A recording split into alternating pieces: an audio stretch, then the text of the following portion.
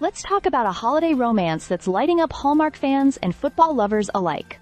Holiday Touchdown, a Chiefs love story. Set against the iconic backdrop of Kansas City's Arrowhead Stadium, this Hallmark Channel film merges football fever with Christmas cheer in what might just be the network's most ambitious project yet. Premiering November 30th, this festive film offers a perfect blend of NFL excitement and Hallmark's signature warmth. The story centers on Alana, a Chief superfan played by Hunter King, whose family runs a team-themed merch store. Her life intersects with Derek, a fan engagement manager for the Chiefs, portrayed by Tyler Hynes. Their shared passion for the game blossoms into romance, but not without the kind of heartfelt challenges Hallmark films are known for. Adding authenticity and charm, real-life Chiefs personalities, including head coach Andy Reid and players Mecole Hardman and Clyde Edwards-Helaire, make appearances alongside NFL supermom Donna Kelce. The production itself was a massive undertaking. Filming included three sweltering July days at Arrowhead Stadium, where over 1,000 extras donned winter coats in 99-degree heat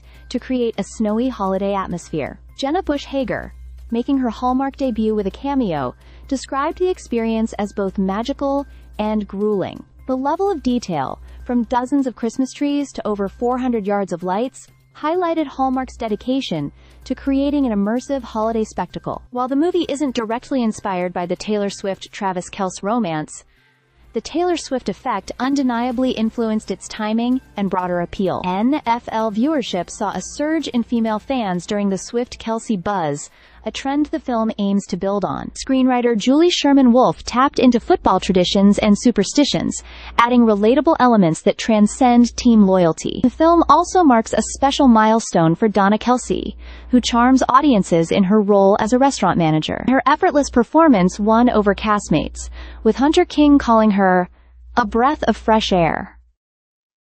In the end, Holiday Touchdown captures more than just holiday romance. It celebrates community, tradition, and the love of the game.